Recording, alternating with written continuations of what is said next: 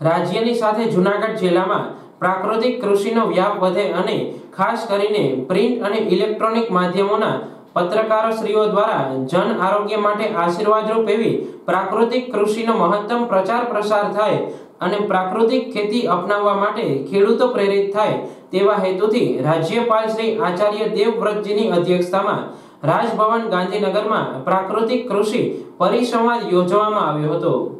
જેમાં જૂનાગઢ જિલ્લાના પ્રિન્ટ અને ઇલેક્ટ્રોનિક મીડિયાના પત્રકારશ્રીઓ, પ્રતિનિધિશ્રીઓ, વીડિયો કોન્ફરન્સના માધ્યમથી સહભાગી થયા હતા.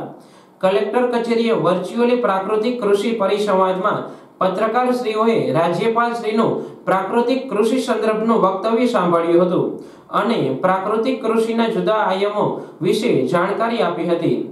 ઉપરાંત પ્રાકૃતિક કૃષિના વ્યાપ વધારવા માટે રાજ્યપાલ શ્રીનું માર્ગદર્શન મેળવ્યું હતું. રાજ્યપાલ શ્રીએ પ્રાકૃતિક ખેતી તથા જૈવિક ખેતી વચ્ચેનો તફાવત પણ સ્પષ્ટ કર્યો હતો. આપણે જાણીએ છીએ કે ગુજરાતમાં પ્રાકૃતિક કૃષિનો વ્યાપ ધીમે ધીમે વિસ્તરી રહ્યો છે.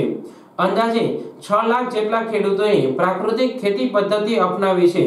વધુને વધુ ખેડૂતો પ્રાકૃતિક ખેતી અપનાવે તે માટે રાજ્ય સરકાર પ્રયત્નશીલ છે.